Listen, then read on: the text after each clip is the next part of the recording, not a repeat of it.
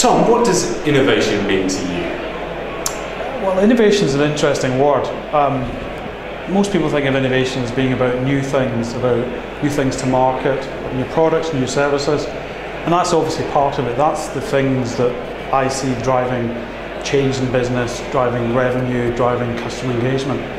There's another part of innovation which is actually how you improve the efficiency of your organisation.